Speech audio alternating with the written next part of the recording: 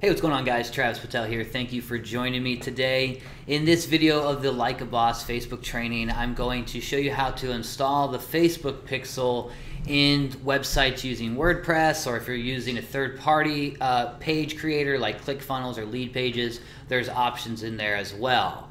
Now, first off, what we need to do is we need to head into our ads dashboard into the pixel section and you'll need to grab that pixel code.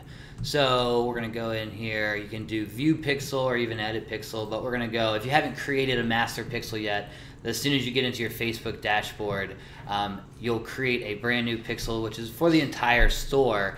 And the information here is what we need to grab. All right, so we need to go to view pixel code. Now the top code here is what we need to enter into our pages that we want to track those views and those visits. Now as the bottom here, there's all types of conversion data that you can add in. So if you want to know when someone visits a page, you want to know when someone adds your product to cart, you want to know when someone purchases your product or becomes a, an email lead, for example, these are the types of information that you want to add into the code on those specific pages. Now we're not going to get into that right now. We're going to keep just a basic kind of Facebook tracking system in place. So I'm just going to go ahead and I'm going to copy this entire code and this is what we want to enter on each of our pages.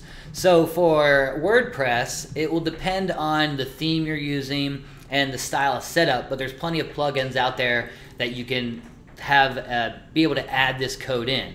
Now, the Facebook code needs to be added in between the head tags on your HTML. And that's what I'm saying. If you have a WordPress site and it doesn't have it in the theme options uh, already, then go ahead and look for a plugin where you can easily add in scripts to your head tag of the HTML. Most themes, I believe, today will have this function available for you.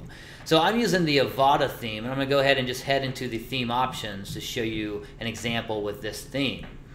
All right, so here we go. In the advanced section, you can see the code fields under tracking, and we have certain sections where here's a tracking code. This is anything that you want to have enter into the header tag. And then if you have any codes or JavaScript stuff that you want in the body tag, you can add here.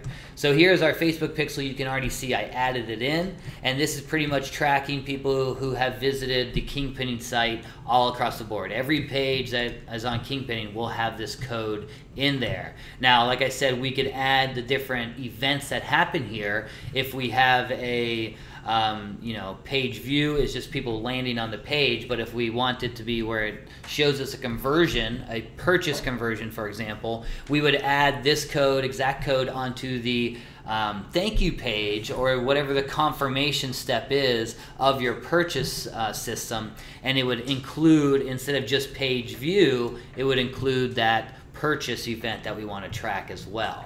So, like I said, it's a little more advanced. If you're not into the code, you don't understand part, look for a developer to help you out. In this case, we're just going to keep it very simple.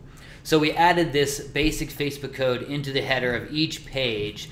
Um, now we want to make sure that we also have it on those pages that are maybe not on our WordPress theme. If we have a third party where we're using, I use ClickFunnels, for example, to create squeeze pages and email leads. Um, we want to make sure our code's set up on there and then also on the you know confirmation thank you pages so that we know when leads are going off. So in ClickFunnels here, we have an example squeeze page set up where this is just a uh, webinar registration looks like, but each page has these same settings. We'll hop in. So in the edit page here, we see in the settings, we can go into the tracking code section here and in the header custom tracking, you'll want to add your Facebook pixel. As you can see, I already added it there.